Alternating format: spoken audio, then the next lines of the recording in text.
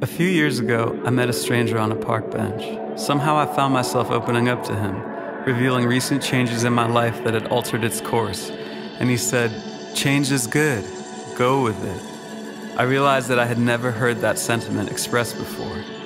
Transphobia, biphobia, homophobia, these words hold a weight of threat, and it occurred to me that the threats they bear, the fears they describe, are rooted in a fear of change, a fear of the unknown, of a future that is not yet familiar, one in which there is a change of traditions, definitions, and distributions of power.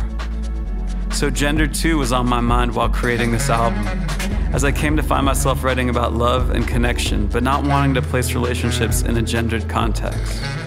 This collection of songs is not celebrating a fear of change, rather, it's the opposite. It's about who we are capable of becoming if we recognize these fears in ourselves and rise above them.